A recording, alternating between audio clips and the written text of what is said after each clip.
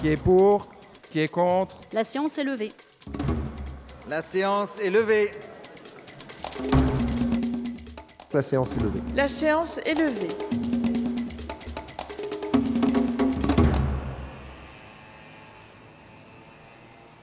Bonjour, Bruno Millienne, je suis député de la 9e circonscription des Yvelines et avec mon collègue Gérard Le Seul, nous avons fait un rapport sur les ZFE, les zones à faible émission mobilité, avec tous les freins à la mise en place de ces ZFE et toutes les contraintes que ça suppose pour les habitants, pour les particuliers comme pour les professionnels. Et mon boulot maintenant, c'est d'aller en circonscription pour expliquer ça à nos administrés, à nos concitoyens, et leur dire qu'on a des solutions alternatives et qu'il faut absolument les mettre en place parce que c'est une question de santé publique.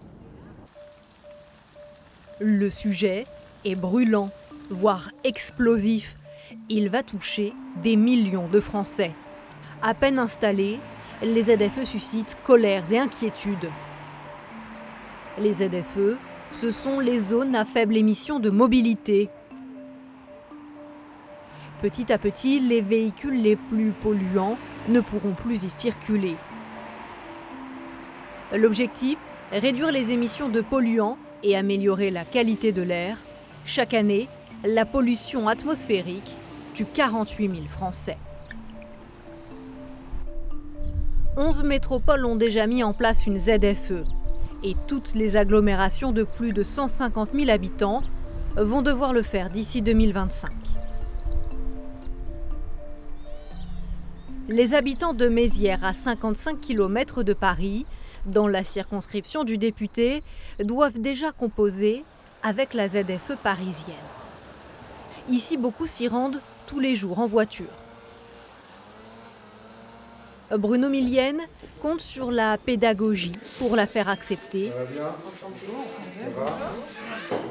Dans ces zones périphériques, le sujet est sensible.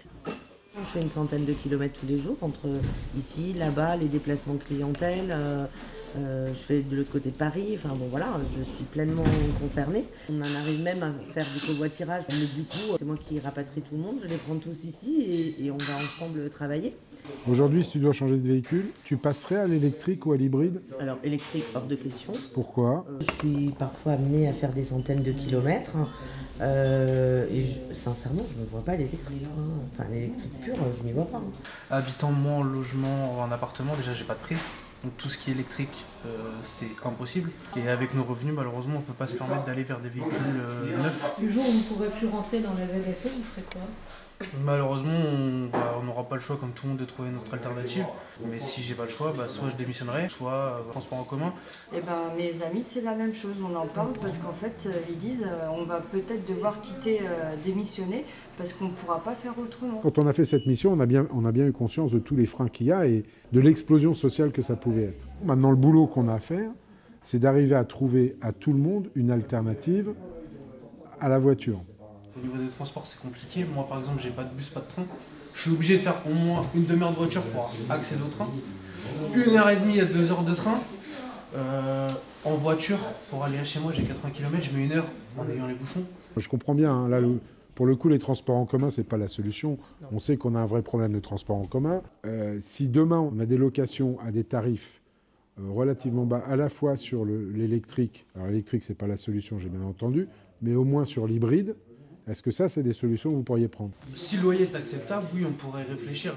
Tout le monde est conscient que le reste à charge est encore trop important. Et tout ça, c'est à l'étude au ministère et je pense que ça va se faire assez rapidement de manière à accélérer le mouvement. À Paris, les vignettes critères 4 et 5 sont déjà interdites. En 2030, seuls les critères 1 et les véhicules électriques pourront circuler. Il faut donc développer les alternatives aux tout-voitures. Ici, la solution, c'est le train et le futur RER. Mais pour cela, encore faut-il adapter la gare.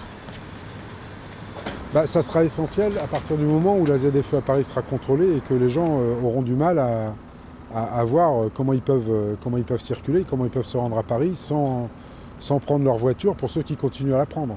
Donc là, effectivement, c'est un enjeu important. L'échéance, c'est 2024, quand les premières contraventions vont tomber.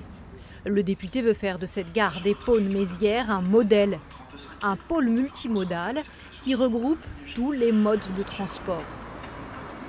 L'idée, c'est que les automobilistes laissent ici leur voiture pour prendre le train, le RER ou le bus express pour Paris. Les élus ont un ambitieux projet. Ça va, Franck Ça va Alors, ici, ce sera euh, des bus. Euh, à peu près sur cet endroit-là, tu vas avoir un bâtiment où il y aura du logement et le- le- la brasserie sera au rez-de-chaussée. Ouais. Et tout le parking que tu as là-bas sera réservé au pôle d'échange multi- multimodal avec un parking silo de 650 places. D'accord. C'est un parking en hauteur euh, À étage, à étage qui va faire à peu près, euh, je crois qu'il va faire 4 étages. gratuit? Alors il sera, comme il est conventionné de France Mobilité, il sera gratuit pour tous ceux qui ont le pass Navigo. D'accord. Reste une interrogation. Les transports en commun seront-ils suffisants pour tous ces nouveaux voyageurs? Alors les chiffres que Île-de-France Mobilité et, Hall ont, d'après eux, ça sera euh, suffisamment dimensionné. Après, euh, Après, il faut se méfier d'Île-de-France Mobilité. Ça- Non, je déconne. ça, je, je ne suis que maire de Mézières-sur-Seine et chacun a ses responsabilités. Comment vous l'appréhendez, euh, cette montée en puissance de, de la ZFE de, de Paris, de l'agglomération parisienne Alors, du Grand Paris? Pour l'habitant, je l'appréhende mal. Maintenant, on dit, bah, les amis, euh, prenez de l'essence euh, ville critère 1, et puis euh, prenez l'électrique ou de l'hybride, et, et ainsi de suite. Pour l'habitant, pour l'administré, on voit aujourd'hui, c'est encore plus compliqué. Un euro, c'est un euro. Et je pense qu'il va falloir qu'on accompagne, en tout cas que l'État accompagne réellement. Euh, L'État accompagne déjà, mon ami. Oui, mais encore plus. Oui. Non, franchement, ça va être compliqué pour l'habitant. On peut arriver à trouver une alternative à chaque citoyen. Même s'ils n'y croient pas aujourd'hui quand on leur dit, je te, je te promets que ça existe. Le député en est persuadé. Reste à convaincre les automobilistes. L'autre mission que s'est donnée le député, c'est d'accompagner les élus. Bruno Millienne a entamé un tour de France pour les guider dans la mise en place des ZFE. Ce jour-là, escale au Bouscat, dans l'agglomération de Bordeaux. Les élus veulent des conseils pour leur futur ZFE qui doit voir le jour d'ici 2025. Le député les incite à la concertation.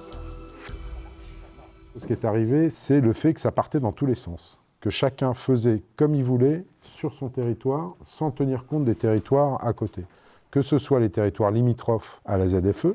Or, vous le savez aussi bien que moi, le problème n'est pas tant à l'intérieur des ZFE parce qu'en général, vous avez des mobilités alternatives. C'est plus pour les gens qui sont à l'extérieur, donc au niveau acceptation sociale et puis aussi au niveau acceptation économique pour tout ce qui est commerçant, artisans, etc., bah, ceux qui viennent faire les marchés à l'intérieur des ZFE pour ne prendre que. Il ne faut pas leur dire on va vous aider à changer de véhicule. C'est on vous offre une alternative qui n'est pas forcément un véhicule.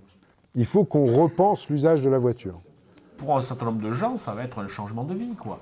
À- à- même, même le reste à charge de 3 ou 4 000 euros, pour certaines familles, c'est- inabordable. Ça se programme sur plusieurs années. C'est des choix euh, de famille qui seront faits pour pouvoir acheter ça ou changer de mode de déplacement. hein. L'aspect subjectif va être extrêmement important dans cette affaire. De viser euh, le sentiment de privation de liberté, de restriction de liberté. Ça va vraiment être, être vécu comme ça.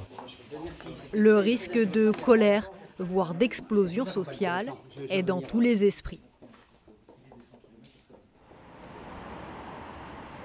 Il y a les particuliers, mais il y a aussi les commerçants et les artisans qui seront directement touchés. Pour eux aussi, l'impact financier n'est pas négligeable. À Bordeaux, Marc et Camille tiennent une boutique de saumon fumé. Et ils ne voient pas comment ils pourront changer d'utilitaire quand la ZFE va se mettre en place. Et donc bonjour. Bon, on va pas tout manger. Ah oui, vous pouvez. Alors moi je suis toute la semaine en, en livraison sur Bordeaux. Alors euh, intra euh, Intra. ZFE, en plus vous êtes dedans en plein. rocade, en plein dedans. Mais aujourd'hui on va être obligé de changer de véhicule. Parce que notre véhicule eh ben, est assez ancien.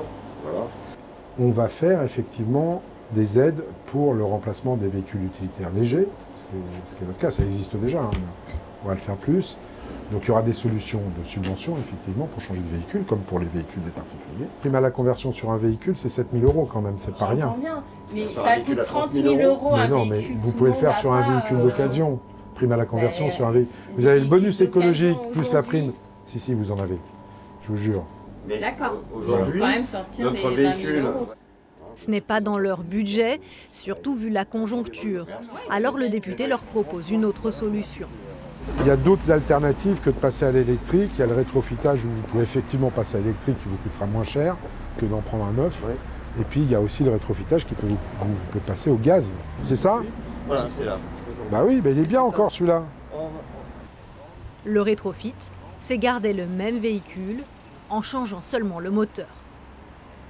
Ce qu'il faut arriver à faire, c'est que les aides que vous obteniez pour passer éventuellement à l'électrique, bon, ou à autre chose, en tout cas moins polluant, il ne faut pas que ça vous coûte plus cher que si vous échangez votre véhicule contre un véhicule identique au diesel.